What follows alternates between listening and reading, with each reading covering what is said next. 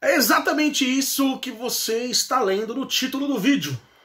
Comprar CDs e comprar vinil não está caro. Não, não é caro comprar CD e comprar vinil. Mas eu vou explicar o melhor para vocês o porquê dessa situação, porque eu cheguei nessa conclusão, até porque é, muitas pessoas falam: ah, eu não consigo comprar CD hoje, não consigo mais comprar vinil hoje, porque está tudo muito caro. O CD está caro, o vinil está caro.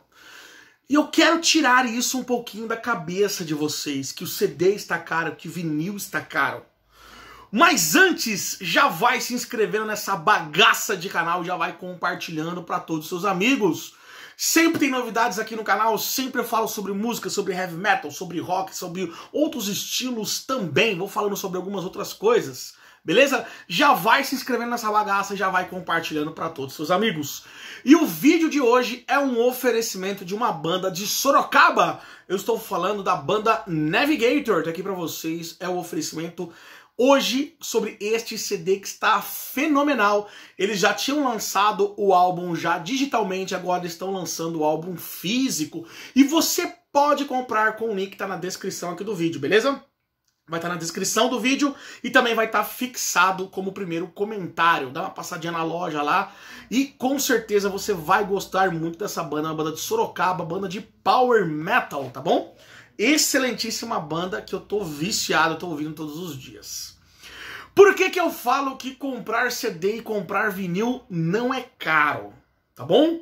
É esse termo que nós colocamos de comprar CD e comprar vinil é um termo que eu acho que eu não consigo mais utilizar hoje.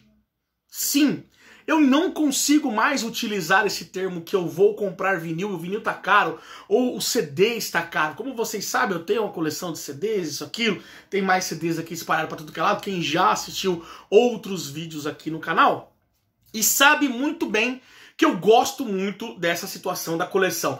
Não me considero hoje também um colecionador, aquela coisa toda, até porque eu falo colecionador, que é o termo que as pessoas mais utilizam, né? O termo que, que é mais é, abrangente para todas as pessoas entenderem o que realmente eu faço com a situação dos CDs e vinil.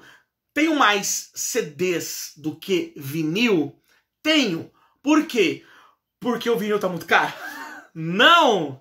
Não é porque o vinil está muito caro e o CD está muito barato. Não! É, quando nós vamos comprar CD e comprar o vinil, nós vamos entender uma coisa. Eu acho que não sei se eu vou conseguir passar isso para vocês, para vocês entenderem.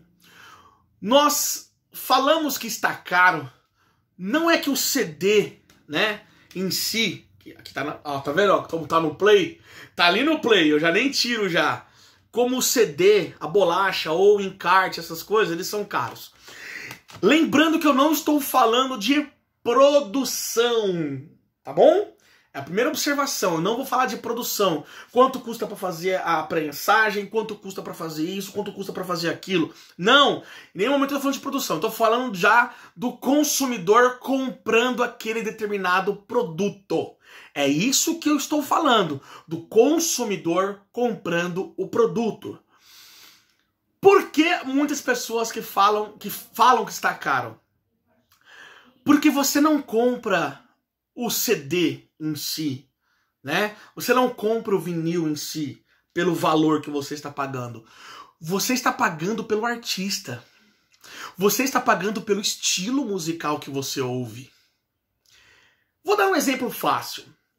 Se eu quero, né? Vamos supor que agora eu não quero mais ter CDs de heavy metal. Tenho cerca de mil CDs de heavy metal aqui, por exemplo, né? Entre heavy metal, rock e outras coisas. Eu quero parar de colecionar CDs de heavy metal. Não quero mais. Eu quero colecionar só de música sertaneja. Aposto com vocês que nesses 10 anos de coleção que eu tenho, ou mais de 10 anos de coleção que eu tenho, esses mil CDs, eu consigo fazer com que a minha coleção de música sertaneja chega em mil CDs em apenas seis meses, um ano. Sim. Até porque eu estou comprando o estilo. Ah, mas você quer dizer que o estilo musical sertanejo é, é, é barato, é não presta, não é... Não, não, não estou dizendo isso. Eu estou falando que neste momento a oferta e procura com relação à música sertaneja é baixa. Ninguém quer. Não tem as pessoas que querem adquirir. Então, quando eu vou comprar heavy metal, tá todo mundo querendo. Rock, as pessoas gostam de colecionar. Música sertaneja, eu vou no sebo esses dias atrás. Eu fui no sebo esses dias atrás, na quinta-feira, normalmente eu vou. E de quinta-feira dou uma passada, eu vejo algumas coisas que eu acho interessante, vou fiscalizando algumas coisas, isso, aquilo. E os CDs, assim, podemos dizer, de sertanejo, tava por um real. Zé de Camargo Luciano, Leandro Leonardo, Chitãozinho Chororó, isso aqui, bababá, babá. É uma coisa que eu gosto. Se bem que pensando também, é um estilo assim que eu gosto de algumas coisas, né? Eu não posso falar Sérgio Reis agora, né? Porque Sérgio Reis. né? Mas assim, tem algumas músicas do sertanejo, do sertanejo raiz ali, do padrão, essas coisas que eu acho interessante. Mas a oferta e procura, ela é diferente. Para pensar um pouquinho. Se todo mundo agora corresse para o sebo ou qualquer uma outra loja e pedisse, eu quero música sertaneja. Você não acha que os sebos ou lojas elas iriam aumentar os valores? Né?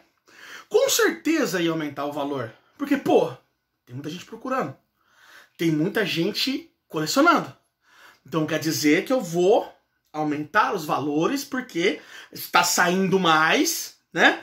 Está saindo mais. E esse CD que eu tinha 15, agora eu tenho dois. Ou agora eu tenho um. E eu estou ainda que esse um reservado para uma pessoa que vai vir buscar sexta-feira à tarde. Então, quando eu falo que nós, é, o CD e o vinil, eles não são caros, caro é o estilo que você ouve. Caro é o artista que você consome, tá? É, CDs de rap. Você já viu quanto custa um CD dos Racionais, aqueles primeiros, você já viu quanto custa? Normalmente aí uns 200, 300 reais. E eu não tô falando de rock, eu tô falando de rap. Você pega ali um, um Realidade Cruel, você pega ali um, um Racionais, um Facção Central, um Detentos do Rap.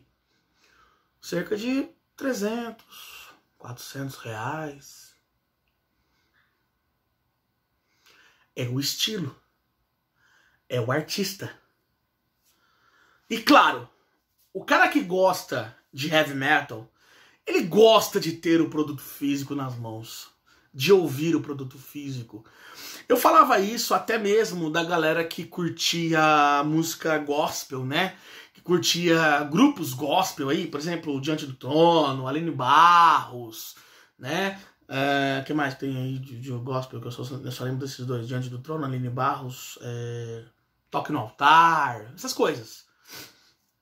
Só que hoje eu percebi que até eles estão aderindo às plataformas digitais. Eles não estão comprando mais CDs originais. Você vai no sebo, tá aquela banca gigantesca e lotada. Certo? E só a galera que consome realmente o colecionismo Ederson, mas eu gosto de música sertaneja. Tenho vários CDs de música sertaneja. Beleza, ótimo. Mas você é pouco. Nesse meio, nessa multidão gigantesca, você é um guerreiro. Até porque eu consigo achar música sertaneja ali em vinil por um real. Então não posso falar que o vinil é caro. Não, o vinil não é caro. Caro é o estilo caro é a banda que você gosta. Aí sim ela se torna cara. Porque ela já fez o seu nome, ela já fez o seu sucesso. Vamos entender também que muitas bandas, principalmente o pop e o sertanejo hoje também, o sertanejo mais universitário, eles migraram do seu contexto de ideia de lançamento de CDs, tá? Eles têm muita situação com relação às plataformas digitais, a singles, essas coisas. Eu tava vendo, eu, tava, eu, eu dou aula, né? Eu sou professor E eu, nessa, nessas situações de dando aula, essa coisa, eu gosto de colocar muita música para os meus alunos ouvirem. E eles pedem músicas, né? Às vezes eles vão pedindo músicas, essas coisas eu acho interessante também eu ouvir o que eles estão ouvindo. E tem uma banda chamada Nile United, né? Quem, quem conhece já sabe o que eu tô falando, que se chama Nile United. E essa banda Nile United, eles não lançaram nenhum CD até hoje. E é um sucesso. Eles não lançaram nenhum CD é só single. Single. Então tem muitos que se, se adaptaram ao mercado, se adaptaram ao contexto do que realmente está acontecendo. Pera lá, por que, que eu vou lançar um CD? Né? Mas é tão gostoso ter um CD nas mãos. É tão gostoso você pegar um CD assim, ó. Nossa! Isso aqui eu, eu abri recentemente, que eu chegou, chegou para mim segunda-feira passada. Semana passada chegou para mim. E ó, você cheira esse negócio, nossa, que coisa maravilhosa de se sentir. Você abrir o encarte, você ter um autógrafo do artista que você admira, que você gosta, uma dedicatória ao meu amigo, é, um abraço ao amigo Ederson, certo? E tá lá, ó, você abrir o encarte e ver a foto do idealizador e ver a foto das pessoas que participaram, pessoas da banda Cara, isso aqui não tem, não tem preço. Para mim, isso aqui não tem preço. Ou tem. Esse é o problema. Às vezes tem um preço um pouco salgado. Né? Às vezes. Mas depende do artista que você gosta. Tudo vai depender do artista. Certo? Quem sabe eu começo a fazer coleção de CDs de sertanejo. Uma coisa que eu queria começar a ouvir bastante era jazz, né? O jazz, o soul, o, o funk americano. Não isso que o pessoal fala que é funk, né? O pessoal que fala que é funk não é funk. Mas enfim, quem sabe os valores estão mais baixos, eu consigo adquirir um pouco mais fácil. Porque já pensou se todo mundo começa a comprar? O preço, ó, vai lá para cima.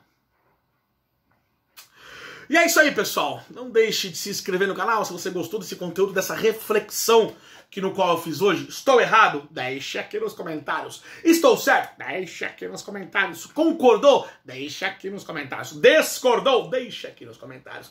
Não esquece de dar aquele like maroto, de deixar aquele like bonitinho pra gente, pra ajudar a fortalecer todo esse contexto aí, essas loucuras que e nessa loucura de dizer que não te quero. É o hino nacional, né? Não adianta. Todo roqueiro né, começou a cantar essa música. Valeu, pessoal. Muito obrigado. Até o próximo vídeo.